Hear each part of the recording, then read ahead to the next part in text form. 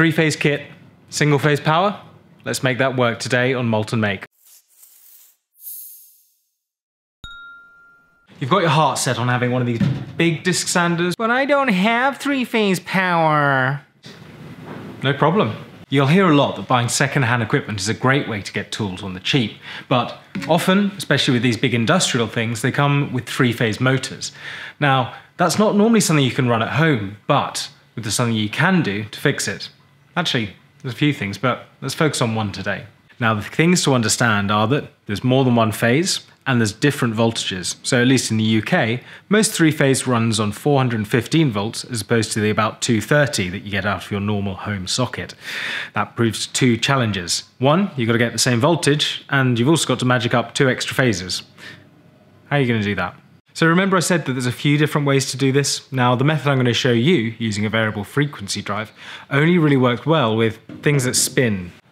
Now the big spinny thing. That would work. Lathe? That work. Welder? No, probably not. Bench grinder? Yeah, that'll work. Anvil? It's not powered, don't plug that in. So what I'm saying is that if it's just a single motor, you're probably going to be able to use a variable frequency drive to get single phase in and three phase out.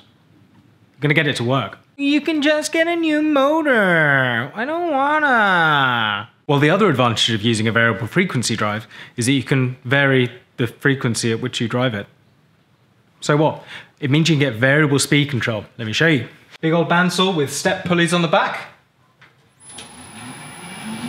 Speed control on the front. Look how slow that is. Ooh, so slow.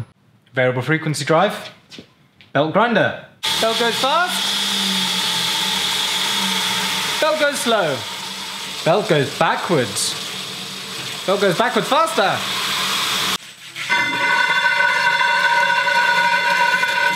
Oh, so you didn't know why your sander needs to run at tenth the speed? Yeah, disc changes are much easier. The way you can tell if something is three phase or not is often by looking at the plug. Now, if they come like this with a bare wire, you're looking at, ignoring the earth wire, three separate phases. Now, if it does come with a plug, it's going to be something heavy duty, a bit like this. Now, single phase plugs can look similar, don't get confused. It's a bit like one of those ones. If you've got one of those, then you just need a little bit more amperage to be able to run it. If you can't really tell the easiest way to do it, have a look inside. Now this sander has the motor on the inside, behind this protective plate, which you still can't see. So um, I'll show you. We have a look inside. The motor's got this bracket on the outside that tells you all the information you need to see if you can run it on single phase. The problem being if your motor can't run on the voltage you put into your variable frequency drive, then it's not going to run. So you might have to just get a new motor. Checklist to make sure my bit of kit is going to work for this method. Dual voltage, same as the stuff that comes out of the wall. Simple thing, basically just a big spinny thing. Perfect, let's go. Power from the wall, somehow. Into the variable frequency drive. Magic. Out into your motor. Simple. The other thing to think about is that this motor has stuff. Ah, see ya. Ah. Ah. Right. Gonna be one of them. Alright. Alright.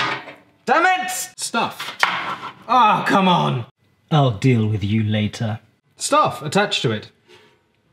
See, wasn't that easy? Stuff like that's there to protect you, so that if you unplug the machine while it's switched on, if you plug it back in, it won't be switched on.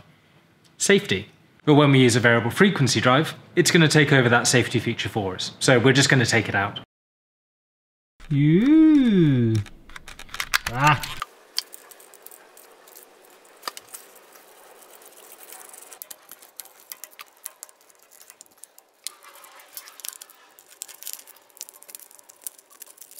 With that bit taken out, we've got one end that can go onto a power plug, comes through the case to one end, which we'll put into the variable frequency drive, and the other end connects up to the motor, and once they're together, I'm excited about the next bit where we put it together.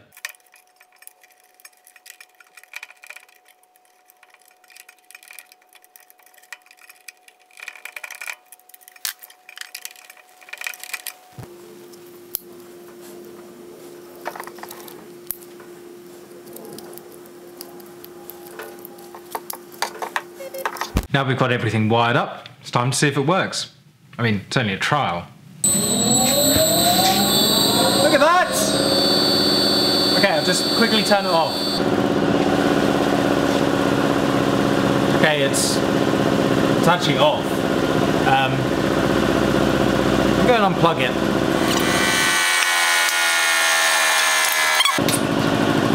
It's unplugged. Uh, have a look in the manual.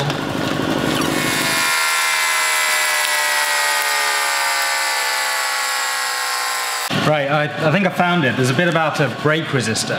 Um, there's also a, a, little bit right down at the bottom here that says if that's not working, then um, the manual can be used as a brake, which is. Uh,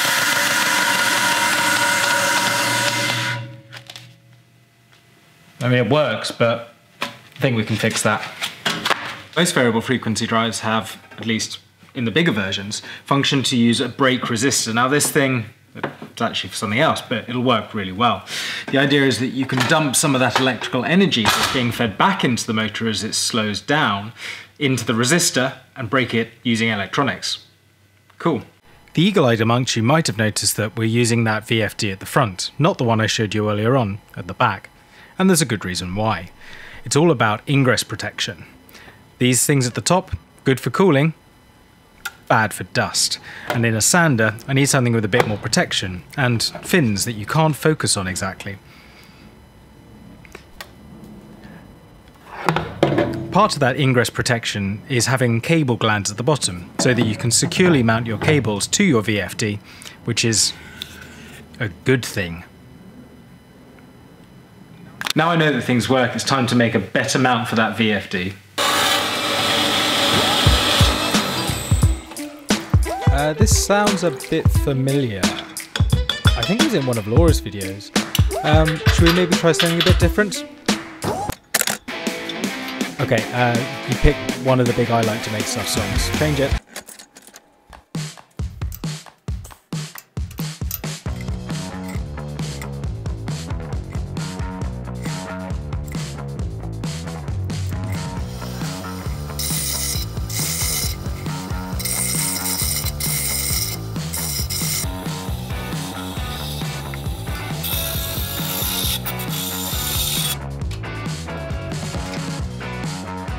'As you can probably guess, the next step is to TIG up this aluminium into a frame. Now, you don't have to do this with aluminium, I just need a bit of practice, so I thought it's a good opportunity.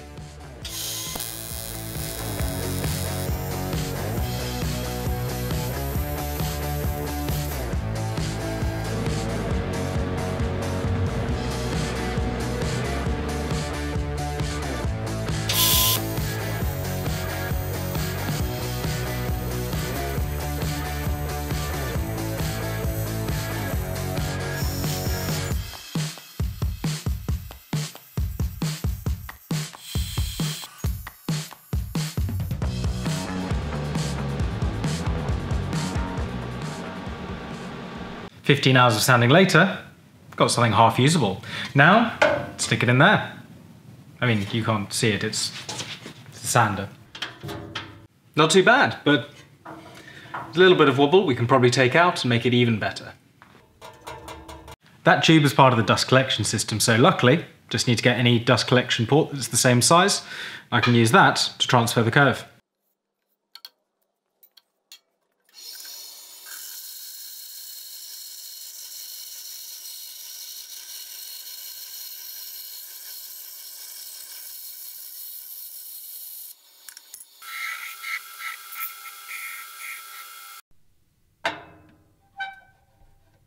1 thing I am slightly worried about is this bit rattling against that tube, which, while not the worst thing in the world, would be quite annoying. If you follow me on Instagram, you'll have seen that I talked about this. This is a plastic dipped or plastic coated bit of metal, and it's what I want to do to these bits to prevent them from rattling, which is why I've got the heat treating oven on. I've already had a go at doing this, and here's the first piece. Now, it's not perfect, and I think we can do a little bit better. So rather than using a blowtorch, which was fun, I'm going to use the oven to heat up the metal part. I've covered it in a heat resistant tape, which they use for powder coating. And then once it's hot, I'm going to dip it in that fluidized plastic and hopefully get a slightly better result. Into the oven. We go. See you soon.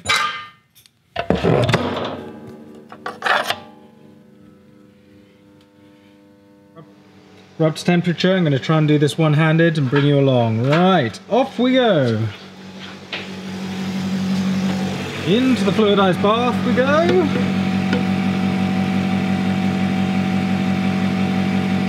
Apparently about five seconds should do it, six seconds.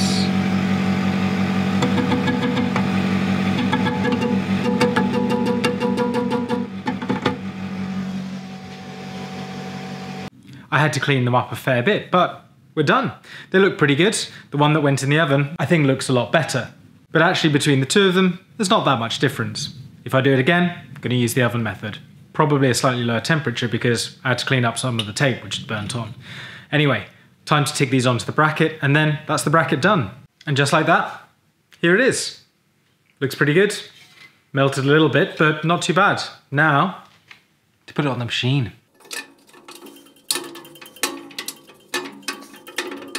So there's a little bit of room on this side, but I think once the weight of the VFD goes on, it's all gonna work out really nicely. And here we are, mounted up, really solid, lifts up a little bit, but I haven't even tightened those bolts yet. Now the slight issue, uh, having drilled the holes for this, uh, oh well, it still actually slows down without the resistor, but this just makes it a little bit faster. So we're gonna carry on, and maybe in the future, I'll find a smaller one of these. Or just mount it underneath. Onward! Did someone say they're excited for wiring? I thought not.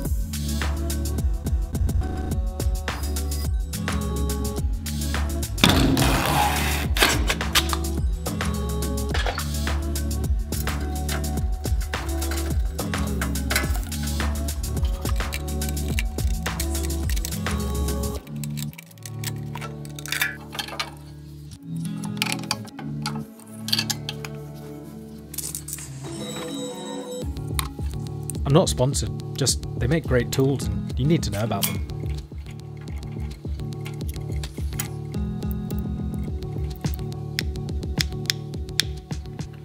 Something I like to do when I'm wiring up projects is use these spade connectors. I think it makes a real difference to the project and gives it a really professional look.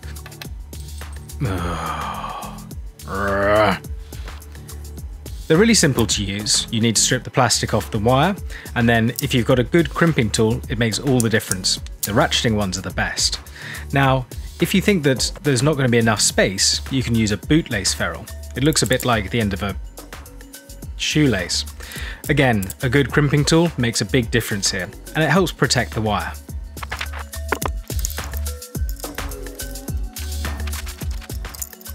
The wiring between the VFD and the motor is quite simple. There is of course the earth connection, and then one wire each for each of the phases, known as U, V and W.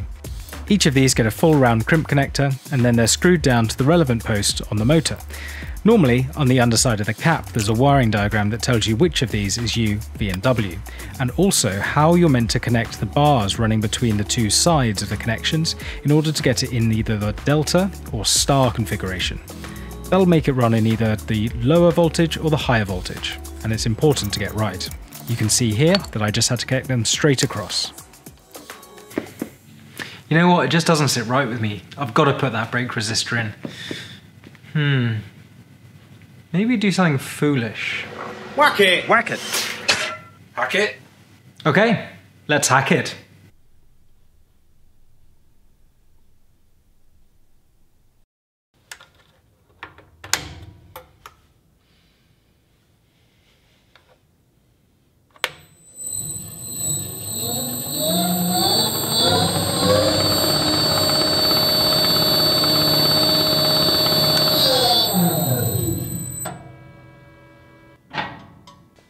Now that's cool. And that's it. It's all you really need to get started using a variable frequency drive to run your three phase equipment on single phase. Now, I need to change the sanding disk before I get this sander up and running, but in the meantime, why not check out one of my other videos?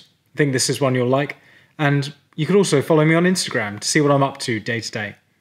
Anyway, catch you on the next one, and thanks for watching.